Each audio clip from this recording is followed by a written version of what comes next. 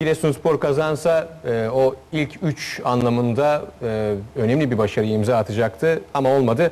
Kardemir Karabükspor zirveye yerleşti. Puan farkıyla uzun bir aranın ardından Kardemir Karabükspor hatta bir başka anlamda e, bir takımı puan farkıyla zirvede görmüş olduk bizler de. Ve Yücelil Diz'in gelişi de böylelikle taşlanmış İki 32 maçta 6 puan yaptı Yücel İldiz değil mi? 3-2 Evet. ilk maçında e, Göztepe'yi yendi evinde.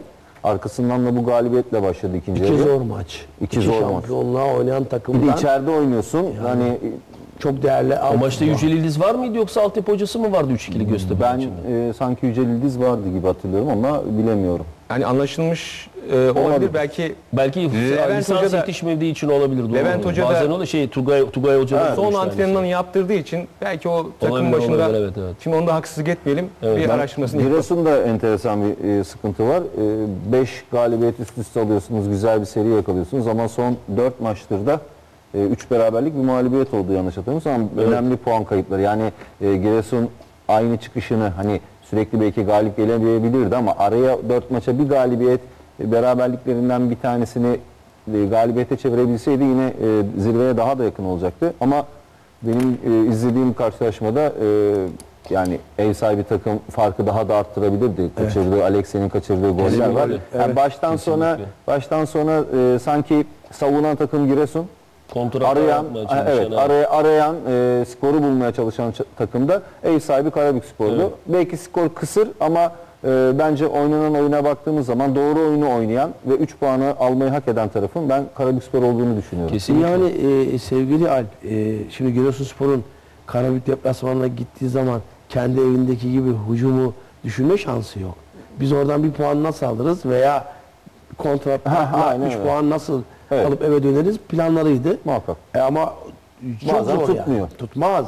E Çünkü e, yani Karabükspor'un kalitesi ortada, o gücü ortada, futbolcuların farklılığı ortada. O yüzden e, böyle maçlarda çok zordur. Orada maçı kazanacak bana göre sporculardır, futbolculardır. Tabii ki. Futbolcuların maça bakışı ve inancı. Tabii ki. Şimdi Giresunspor ilk yarıda aslında kontrat kontrata çıkarken e, Vedat ve e, Akboy'la da pozisyon bulmadı değil. Aslında olması gereken deplasman oyununun, oyun şablonunun en iyisini yapmaya Uygulamaya çalıştılar. çalıştılar. Uygulamaya çalıştılar. Ve kısmi yerlerde de belli yerlerde de oyun içinde hamle de yapabildiler öne doğru ki pozisyonlar da vardı ama şimdi e, Alp hocamın e, konuşmaya başladığında söylediği şeyin altını çizmek istiyorum. İki karşılaşmada değişik bir Karabük var sahada. Yani daha coşkulu, daha arzulu, İsteyen. daha ısıran ve isteyen bir takım hüviyetindeler.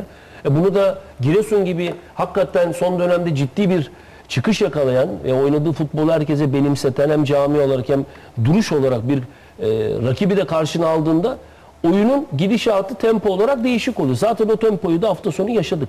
Ama isteyen taraf hani oyun bende kalsın, ben force edeyim, ben domine edeyim tarzında bir Karabük ama diğerde de ben diriliğimle karşı koyayım ama yakaladığım pozisyonlarda kontratakla diye değerlendirmeye çalıştıran bir Giresun vardı.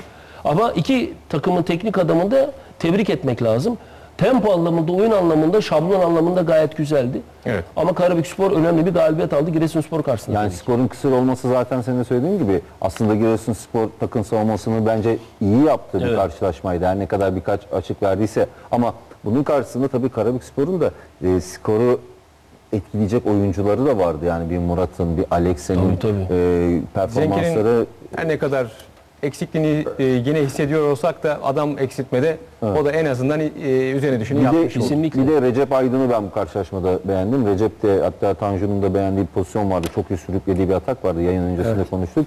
Ee, muhteşem götürdüğü bir atak vardı. Her ne kadar golle sonuçlanmasa da e, ön bölge oyuncuları e, bu maçın skorunu tayin etti diyebiliriz. Yani Vedat Muriç belki yakaladığı birkaç kontrada golü bulsaydı berabere bitebilirdi veya Giresun'un lehine bitebilirdi ama büyük fotoğraf Karabük'ten yana. Vedat Muriç o pozisyonu atsaydı son dakikada 90 artı bir de Alex'in o dipleme vuruşu değil ayak içiyle onu Hemen o 90 pozisyona bakalım hocam. bulurdu yani. Bu da Orada kaçar biraz mı? lakayt davranmış. Bu da kaçar mı diye izlediğimiz Tabii o canım, o da pozisyona kaçar mı bakalım. yani gerçekten?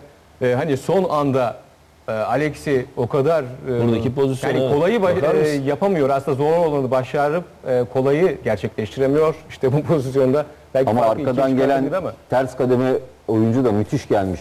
Bak sol ayağını sokması orada bütün işi bitiriyor. Ama burada da vuruş kötü değil mi? Kötü, çok kötü. Bak burada bak boşalıyor bomboş hocam dönüp vuracak bak. Aldı vuracak burada. Vuramamış ki. Ya da çevre kontrolü garantiye gidecek, arkadaşına ayak içi oynayacak. O kaleyi cepheden görüyor. Bence topa vuramamış istediği gibi. Topa değil. Dipleyememiş sahadaki- mi? Hem dipleyememiş sağda çimene gel- gelmiş ayağa dikkat edin bak. Ama Ama bir ayak içi... diplemek istemiş. Bak burada hop diplemek istiyor. Evet. Orada ayağının içiyle hop Bu arada iki düzeltme yapmam gerekiyor. Biri Yusuf Kanat'tan yansımış. 3-3 biten Karabük Göztepe maçında takım başında Levent Evet. Açıkgöz vardı evet, demiş. Bana da şimdi tweet geldi arkadaşlardan. Teşekkür ediyoruz verdikleri Ee, daha için. önemli olan düzeltmeyi ben kendi adıma yapmak istiyorum. Üçüncü e, ismi yani Adana Demirspor Teknik Direktörü Osman Özköylü'ye haksızlık ettik. O da değişmedi ama ben istifa etmesi açısından belki aklımda e, Hüseyin Eroğlu ve Metin Diyadin'e öncelik vermiş olabilirim. şunu söylemeliyim. Hocalarım bana katılacak mısınız bilmiyorum ama galiba bu ligin değil hani Süper Lig'de bile e, Pereira kadar şanslı bir hoca olduğunu söyleyebilirim. Sezon başı istediği tüm transferleri yaptı. İstifa etti. İstifa etti. Gerisi, geriye alındı istifası. Futbolcular dönmesini istedi. İstediği oyuncular kadro dışı bırakıldı. Ara transfer dönemi geldi. Yine istediği oyuncular kadroya O alındı. zaman ben gireyim orada. Lütfen. Yönetimin yapması bu değil mi inanıyorsa? Peki bundan sonra Teknik ne olur? direktöre yakışan bu değil mi? Tamam, bu- Ama her teknik direktör yapabiliyor mu? Asla. İşte Türk futbolunda böyle teknik direktörlere ihtiyaç var. Böyle yöneticilere ihtiyaç var. Ben böyle görüyorum. Çünkü o zaman mutlu olursun. Mutlu olursan sahaya yansır. Teknik direktör yönetimden iki şey ister. Bir, transfer. Bir iki de zaman. paraların, bir de paraların Zaman. ister. Transfer yani o onun içinde ikisini de veren bir yönetim var. Hocaya zamanı fazlasıyla verdiler. Veriyorlar, evet. Desteklerini verdiler. Transferse hem sezon başı hem e, ara transfer döneminde takıma katkılara bakıyoruz. Fazlasıyla. Gelenlerle yeniden bir takım oluşturabilirsin. Artık e, Adana Demirspor'un e, bundan bence sonra her şey hocanın elinde. hocanın elinde. Bundan Bundan sonra sonra hocanın da bahanesi yok. Yok, yok. Evet, Bahane bundan şey üretemez. hocanın elinde. Yapacağını yapmak zorunda artık. camianın özlemi biter inşallah. Ve İnşallah. özetlerle devam edelim.